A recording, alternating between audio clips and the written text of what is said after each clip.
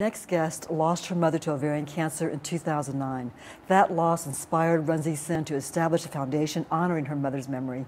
Ovarcome operates by a simple philosophy of support, love, and the celebration of life, and has just reached its fifth anniversary. Runsi, thank you so much for coming on again. Thank you for having me. And congratulations on the fifth thank year anniversary. So Tell me, what are some things that Ovarcome is doing now as part of this milestone event? Um, that's a great question. So, uh, Ovarcome, the mission uh, that we have at our organization is to raise awareness on ovarian cancer among women worldwide. We also fund research uh, in search of a cure for this deadly disease. And we also uh, provide financial assistance to underserved ovarian cancer patients.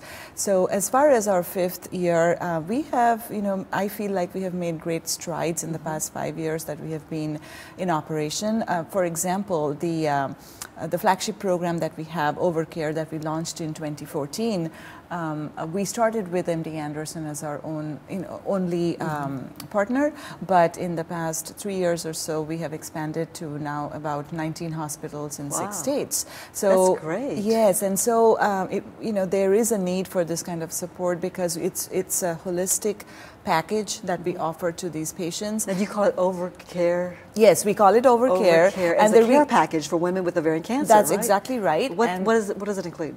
And it, it has a, a, financial grant, it has a gas card, it has a grocery card, and um, these Very two things. Yes, and these two things are optional, but um, there are several patients that want it. We also have like a spa package that we offer, and uh, one of our advisory board members, she runs an integrative medicine uh, practice, so mm -hmm. she also um, donates an hour of her time to sit with these patients and um, do a health restoration consultation. So because so many of these women are also caretakers themselves. They have children and families, exactly. and they're sick, and mm-hmm. they just sort of probably do the minimal, whatever they can do to, for their own case, right? And e- without really pampering or taking care of themselves. Yes, and, and what we have seen, Mary, over the years um, since we launched this program mm-hmm. is these patients are, you know, as it is, they're struggling with something as dreadful as, as cancer, right. but on top of that, they have uh, financial challenges. Mm-hmm. And so we have had patients that tell us that we couldn't keep doctor's appointments because we had no gas in the car. Wow. Or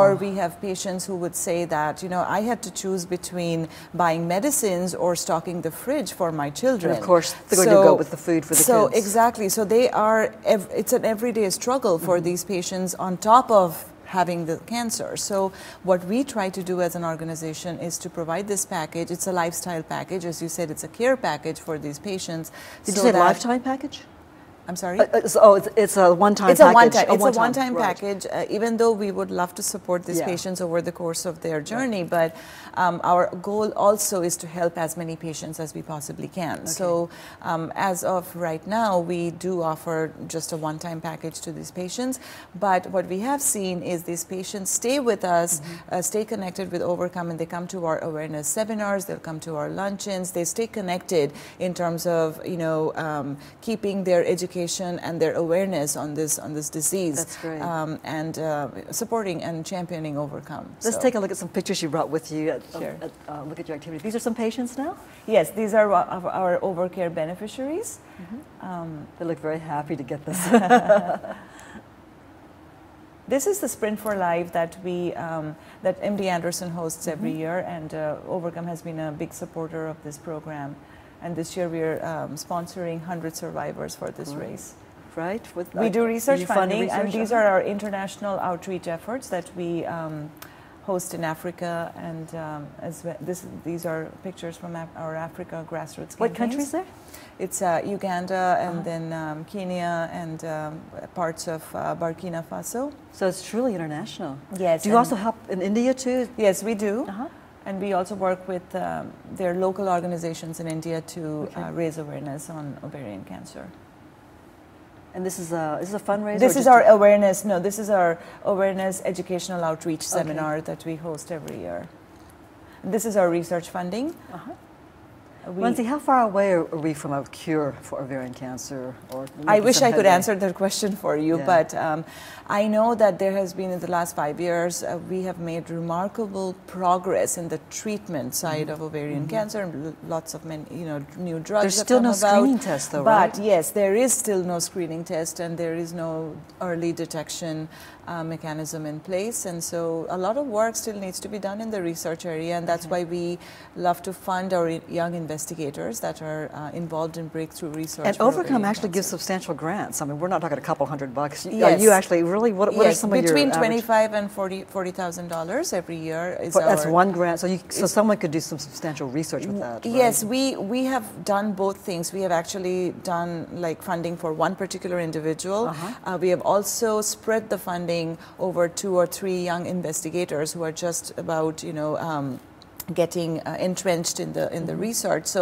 what that helps with we have seen is these young investigators and researchers are so enthusiastic about finding Mm-hmm. um, finding a cure for ovarian cancer it just energizes them and so we feel like you know it's a very worthwhile investment on our end. It's a motivator So this too, year right? in 2017, we actually um, sponsored three uh, young investigator research grants. And where do you find them? Do you just go through like MD Anderson or different? Um, no, we work with uh, an organization called Foundation for Women's Cancer. They're Uh-huh. based out of Chicago, Very and so we work with them in identifying uh, these uh, i- investigators. And this this year, our prize winners uh, they are from um, Memorial Sloan Kettering, Mm-hmm.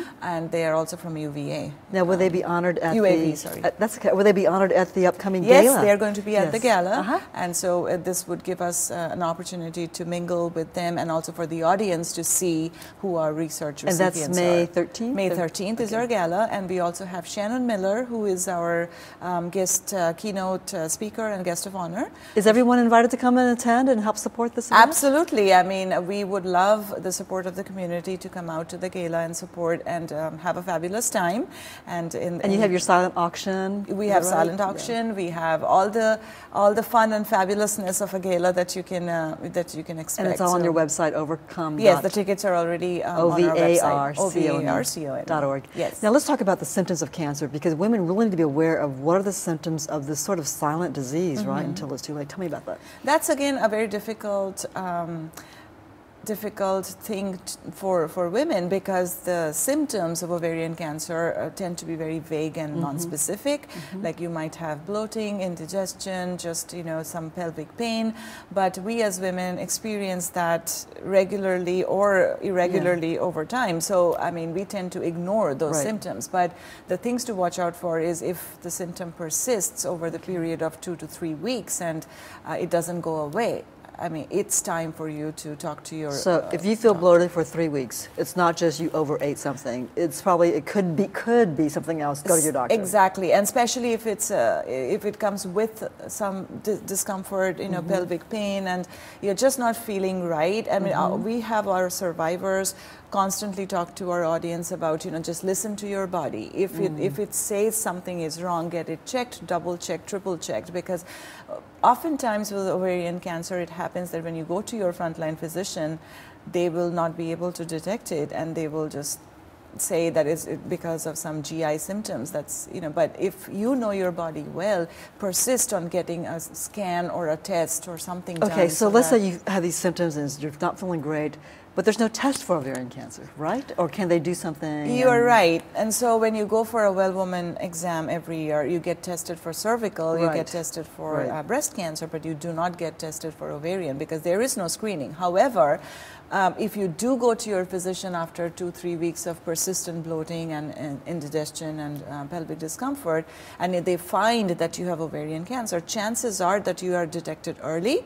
And like you mentioned, majority of the cases, the cancer is detected at stage three or beyond, just because the sym- symptoms are so- vague. But right. if it is caught early, the survival, five-year survival rate is actually greater than 95%. That's encouraging. So even if you have ovarian cancer, if it is detected early and you um, you go to your doctor and it gets uh, diagnosed um, before it, like stage two, Right. then your chances of survival is. but is how do they so detect it if there's no test? There's no screening test, but they can also, if you have all these symptoms, they can give you like a CA 125 or something to figure out this is yeah high. so so might have it. when so in, in this case you already have the ovarian cancer Okay. right but you, it's so in you early say, I stages I might have something, check it. so Yeah. yeah. so it's in early stages so that gives you a fighting chance you know and, and a chance for uh, 95% or higher chances of survival which compared to the other cases where majority of women present with an advanced disease i mean the five year survival rate is very very dismal